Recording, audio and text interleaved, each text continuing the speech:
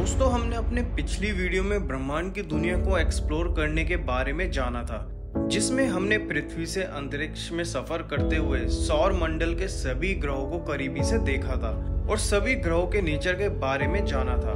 और सफ़र करते हुए हम सौर मंडल के आखिरी ग्रह नेपच्यून तक पहुँच गए थे। लेकिन ये ब्रह्मांड बहुत ही विशाल है और अभी तक हमने ब्रह्मांड के सफ़र का पाँच परसेंट भी कवर नहीं किया है। और आज की वीडियो में हम जर्नी को कंटिन्यू करते हुए आगे बढ़ेंगे और चलेंगे ब्रह्मांड की दुनिया के आखिरी छोर तक, जहाँ हम जानेंगे करोड़ों गैलेक्सीज ब्लैक होल एक्सोप्लैनेट और ब्रह्मांड की सबसे पुरानी गैलेक्सी को भी। तो मेरा नाम है गौरव, चलिए शुरू करते ब्रह्मांड टीवी के आज के इस नए एपिसोड को। दोस्तों हम अपनी जर्नी को नेपच्यून से होते हुए आगे बढ़ते हैं।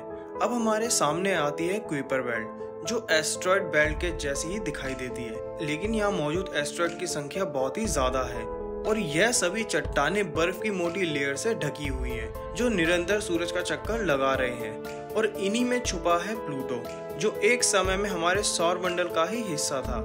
जो अपने ऑर्बिट पाथ को साफ़ ना रखने के कारण ग्रह की श्रेणी से बाहर हो गया था।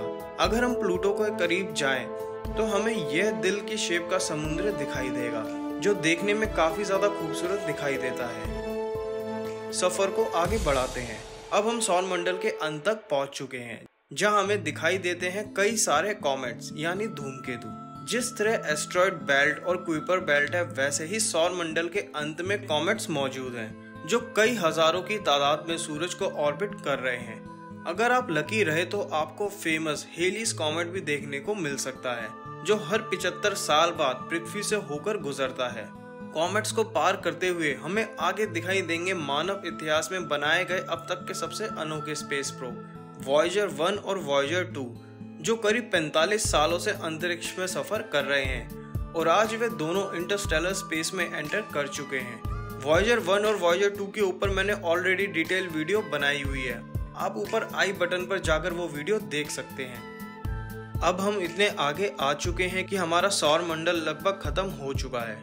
यहाँ सूरज की रोशनी भी बहुत ही कम हो चुकी है और सूरज की ग्रेविटी भी कमज़ोर हो चुकी है। ऐसा लग रहा है मानो हम अपने घर से बहुत ही ज़्यादा दूर, एक अनजान जगह आ गए हैं। लेकिन हमें अपना सफ़र जारी रखना है। सफ़र में आगे अब हम ऐसी जगह आ गए हैं जहाँ दूर दूर तक हमें कुछ भी दिखाई नहीं देगा, क्योंकि अब हम एंटर कर चुके हैं इंटरस्टेलर स्पेस में और हमें अब अपने स्पेस क्राफ्ट की स्पीड को लाइट की स्पीड के जितना करना पड़ेगा।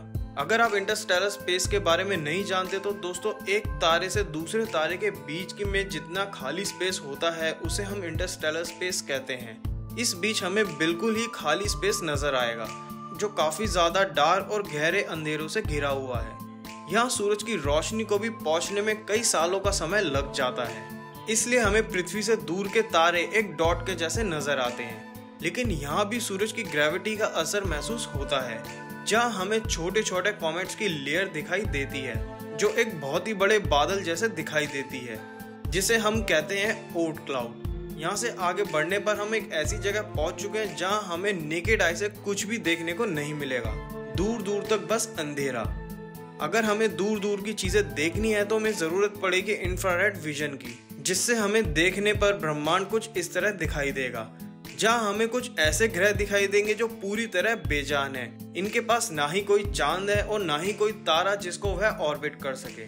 इन ग्रहों को वैज्ञानिक रोक प्लेनेट कहते हैं। और 2021 तक कुल 170 के करीब ऐसे रोक प्लैनेट को खोजा जा चुका है, जो इंडस्ट्रियल स्पेस में अपने अनजान सफ़र में इधर उधर घूम रहे हैं। सफ़र में आगे बढ़ते हैं और अगले पड़ाव में हमें दिखाई देगी हमारी मिल्की वे गैलेक्सी, जो कुछ ऐसी दिखाई देगी।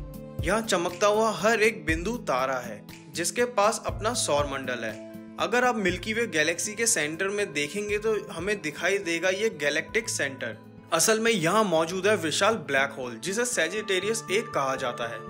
सेजिटेरियस ए ब्लैक होल की ऑफिशियल पिक भी हाल ही में इवेंट होराइजन के द्वारा रिलीज़ की गई है, जिसमें हमें सेजिटेरियस ए का कुछ ऐसा लुक दिखाई देता है। अब हमने सफ़र का एक पड़ाव पूरा कर लिया है, जहाँ हमें अब अपनी गैलेक्सी को छोड़कर आगे बढ़ना है। अब हम अपनी मिल्की वे गैलेक्सी के सबसे पास की गैलेक्सी, एंड्रोमेडा गैलेक्सी को देखते हैं, जो बेहद ही बड़ी है और हमारी गैलेक्सी से ढाई करोड़ लाइट ईयर की दूरी पर मौजूद है। और वैज्ञानिकों का भी कहना है कि एंड्रोमेडा बहुत ही तेज़ी से हमारी गैलेक्सी की ओर बढ़ रही है, जो साढ़े चार अरब सालों बाद हमारी गैलेक्सी से टकरा जाएगी। अगर आप एंड्रोमेडा से नज़र हटाएँगे और चारों तरफ़ देखोगे तो हमें एंड्रोमेडा जैसी करोड़ों गैलेक्सीज दिखाई देंगी, जो ब्रह्मांड में चारों तरफ़ फैली हुई हैं। जैसे जैसे हम ब्रह्मांड में दूर जाते जाएँगे, वैसे ही हमें कई सारी अलग अलग टाइप की गैलेक्सीज दिखाई देंगी। और दोस्तों, यही सारी गैलेक्सीज मिलकर एक लोकल ग्रुप बनाती है। और सबसे हैरानी की बात तो ये है कि ऐसे ही लाखों लोकल ग्रुप मिलाकर एक क्लस्टर को बनाते हैं। और यहाँ हमें दिखाई दे रही एक एक लाइट डॉट अपने आप में ये गैलेक्सी है। और हर गैलेक्सी में करोड़ों तारे और अरबों ग्रह मौजूद हैं। इसी तरह ये सारे लोकल ग्रुप मिलकर एक क्लस्टर को बनाते हैं और ठीक वैसे ही कई सारे क्लस्टर मिलकर एक बहुत ही बड़े सुपर क्लस्टर का निर्माण करते हैं। और वैज्ञानिकों का भी मानना है कि एक करोड़ से भी ज़्यादा बड़े सुपर क्लस्टर मिलकर पूरे ब्रह्मांड को बनाते हैं।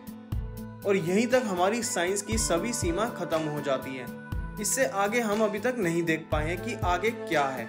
इसीलिए हम इसे ऑब्जर्वेबल यूनिवर्स कहते हैं, जो 92 बिलियन लाइट ईयर तक फैला हुआ है और हर सेकंड ब्रह्मांड बढ़ता जा रहा है। अगर आप पृथ्वी से होते हुए ब्रह्मांड को एक नज़र में देखना चाहते हैं तो ये इमेज आप गौर से देखिए। इसमें ब्रह्मांड भी एक बहुत ही बड़े विशाल बॉल जैसा दिखाई देता है, जो वैज्ञानिकों ने अभी तक मिले सभी डेटा को मिलाकर बनाया है। तो अब आप अंदाज़ा लगा सकते हैं कि हमारा ब्रह्मांड कितना बड़ा है। और पृथ्वी में मौजूद इस छोटी सी दुनिया से हमने पूरे ब्रह्मांड को इतना एक्सप्लोर कर लिया है। तो दोस्तों, ब्रह्मांड के सफ़र में आज के लिए इतना ही। अगर अच्छा लगा हो वीडियो तो लाइक करें कमेंट करें और अपने फ्रेंड्स और फैमिली के साथ शेयर करें। और ऐसी वीडियो देखने के लिए ब्रह्मांड टीवी को सब्सक्राइब करें। तो मिलते हैं गाइस नेक्स्ट वीडियो में। तब तक के लिए थैंक यू बाय